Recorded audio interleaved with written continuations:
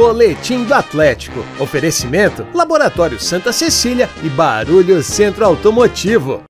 Olá, um abraço para você que se liga aqui no Labras TV. A terça-feira do Atlético é de jogo importante pela Copa Libertadores. O Galo faz o seu segundo jogo pelo Grupo G da competição, enfrenta o Atlético Paranaense em Curitiba. A bola rola às nove da noite. Você, é claro, acompanha tudo aqui no Lavras TV. O detalhe é que o Atlético para este compromisso é, vai em busca dos seus primeiros pontos nessa fase de grupos, já que no jogo passado, a sua estreia contra o Libertado Paraguai, o time foi derrotado em Belo Horizonte por 1 a 0. Para este jogo, o técnico Eduardo Cudê não conta novamente com o Pavon, ainda com aquela punição é, da Comembol. Inclusive, esse é o último jogo que ele deve cumprir de punição. Na próxima rodada, ele já estará à disposição do técnico argentino e também o lateral direito Saravia, ele que recebeu o terceiro cartão amarelo, está fora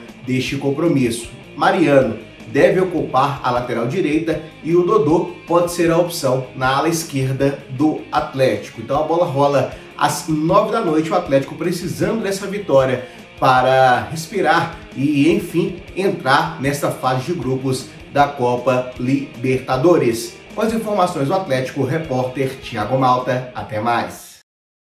Boletim do Atlético. Oferecimento: Laboratório Santa Cecília e Barulho Centro Automotivo.